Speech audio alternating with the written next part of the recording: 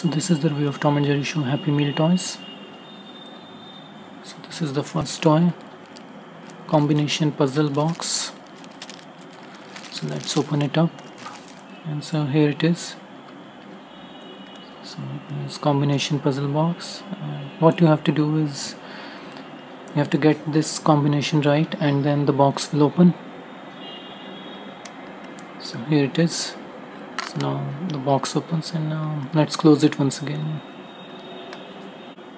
And this is telescope. So let's take it out. So telescope has a picture of Tom who is also looking through a telescope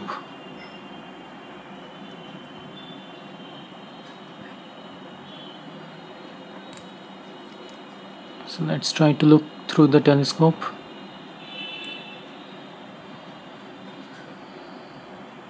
So that's how it looks like